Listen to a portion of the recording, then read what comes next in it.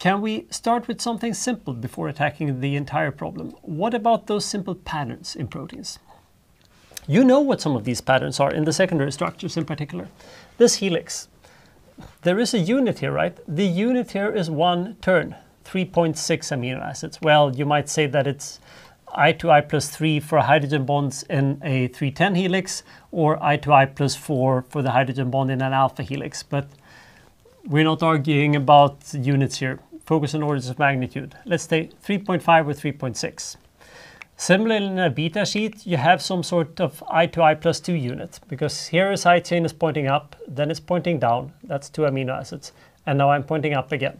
So after two amino acids, I'm back to roughly the same pace. So maybe 3.5 unit of a repeat here, and 3.5, uh, sorry, and 2 unit of the repeat in the beta sheet. But what is the reason then why we don't have exceptionally small helices or exceptionally large helices? Well, for exceptionally small helices, we've already been through that. Remember when I spoke to you that there is an initiation cost of at least forming the first turn. Before that has happened, you won't even start to form it. That's equally true for the beta strand. But even though when I've formed one turn, it still isn't an advantage. It's just when I've formed one turn, I will start to form the others too, but it's probably not until I have four turns or so that the net delta G starts to be negative.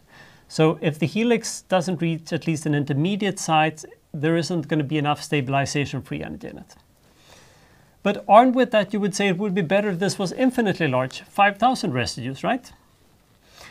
Here, Mathematical Statistics Center. So let's look at the distribution of such units and ask ourselves, how likely is it to have, say, four helical segments after each other, or even more general, what is the average length of helical sequence going to be? To do that, I'm going to need to introduce some sort of probability. And I'm going to, to make this easy, let's say that there's a probability of being a helix, but this really doesn't have anything to do with helices. So if I'm just picking R repeating uh, segments here. Let's say that it's 3 to start with. That means that I should pick whatever this is, say helix, helix, helix, and then I need to pick something that is not helix before and after it. In that particular case, it's 3, but I'm instead going to say that we want to say, ask the question that what is the length r here, and how likely is to have that. Second, it's, I'm not really going to care about the case where it's just one. It has to be at least two, otherwise it's not repeating. We know that the probability of having that equal to r, or 3, well, that should first be 1 minus p, that's the open one before. And then I should pick p values r times, and then I need to pick the min minus p value after it. We don't know what p is yet, it's just that it's a value between greater than 0 and smaller than 1. I would like to know what r in general is, and that is surprisingly easy to calculate, at least the first step. You know this. I should sum over all those weights and weigh them by the va what value r is. So r multiplied by the weight of that particular length. And then this should start by 2, otherwise I'm not repeating, and it should go to infinity. And it's r I'm summing over there. And then to make sure that those weights sum up to unity, I should again sum from 2 to infinity, but just over the weight of r. I'm not sure about you, but when I was in upper secondary school, I truly hated sums uh, because they're much harder to work with than uh, integrals. And now I love sums for the same reason. Sums are super cool because they're hard from computers. This is not trivial to solve immediately, uh, but there are a couple of tricks. So what you would normally do, you would look up in a book what sums of the sum are raised to the power of n and summing n from 1 to infinity. That will only work if uh, r is smaller than 1, of course. And I know what that sum is, so I'm going to write that down up here for you. So sum r equals 1 to infinity. That was the only sum I could find of p raised to the power of r. That is p multiplied by 1 minus p, no, sorry, not infinity. That should be n here. divided by 1 minus p. Not entirely obvious, trust me, got it from a book. When we've done that, we can start to enter a few things here. Uh, let's write out what those sums really were here and see if that makes it clearer. In the nominator, I had r multiplied by that expression, right?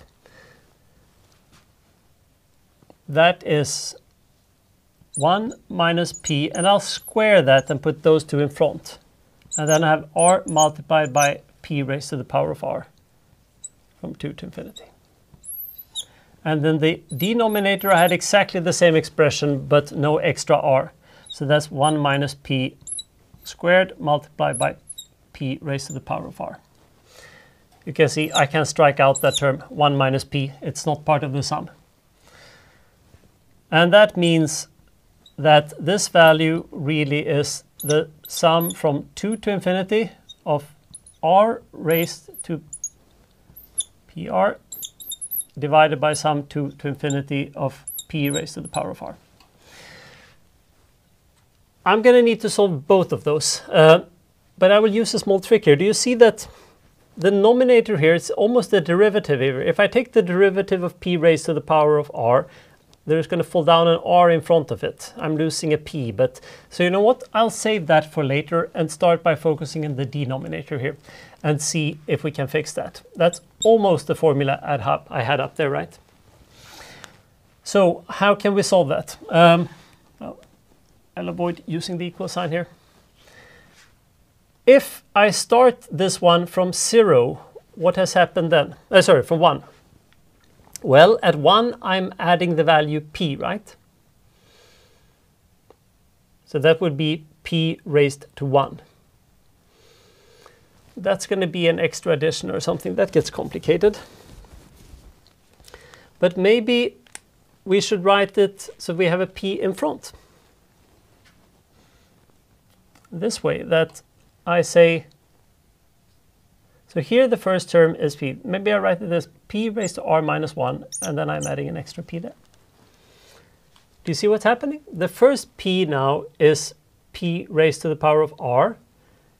I'm well aware that this is still a 2, but that p does not depend on r. So that p I'm actually allowed to put in front. That doesn't seem to have simplified things, right? But now the exponent here, when r equals 2, I'm actually starting with the exponent 1. So now I can change this a bit. So I'll keep the nominator, sum from 2 to infinity, r multiplied by p raised to the power of r. And then I'm dividing by p. And now I can start the sum at 1. p raised to r. Neat trick, right? This only works when you sum into infinity, and that's why infinite sums are so cool. That sum now corresponds to the expression here if I put n equals infinity. And that means that that becomes p multiplied by, well, 1 minus p. If p is smaller than 1 and I raise it to infinity, it's going to disappear. So I just get p here divided by 1 minus p. And then I had an extra p there. So I still have that sum from 2 to infinity of r multiplied by p raised to the power of r multiplied by divided by p2 divided by 1 minus p. Neat. I still now need to attack the nominator here. Um, so how I'm going to attack the nominator? Well, this is a bit longer expression. I'm not going to do it interactively for you here, but I'm, I'm going to do the trick there too. So this derivative, if I think, if I take start, start by studying this expression, p raised to the power of r. If I take the derivative of that with respect to r, it's now going to be r multiplied by p raised to r minus 1, right? But if I started with that expression, then I get exactly the same property here. It starts at r minus 1. And then I can do the sum from 1 instead of from 2. And then I have that solved too. That's going to be a slightly longer expression, so it's not being a few more terms here, but this is just simple bookkeeping. It's not very hard. The only trick is to realize that I can write the denominator roughly as I think it's going to be 1 over p multiplied by the derivative of the denominator. If I do that and then solve for it, there are a few extra steps here that I won't show in detail.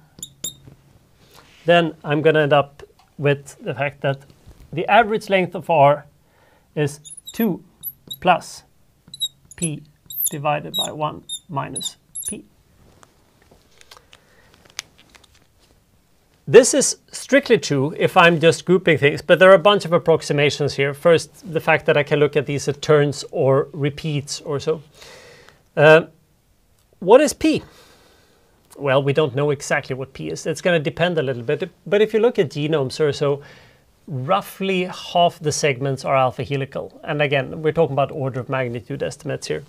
And if p is roughly 0.5, that's 0.5 divided by 1 minus 0.5, which is 1 unity. So if p is roughly 0.5, r is going to equal roughly 3.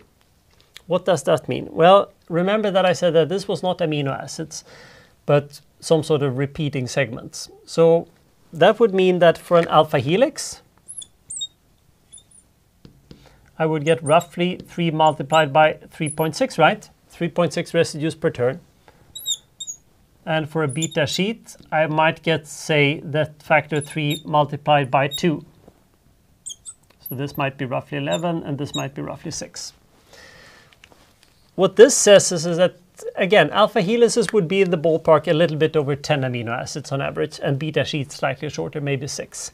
I think the book claims that this is right. My gut feeling says that it's a bit of an underestimate. Um, but again, we've just picked toy numbers here for P. If P, you can check yourself what happens if P has lower or higher values. But the point is that these toy values gives us something that's probably right, clearly within a factor of two at least. So it turns out that the, the reason why you don't see longer secondary structure elements than we do is simply probability.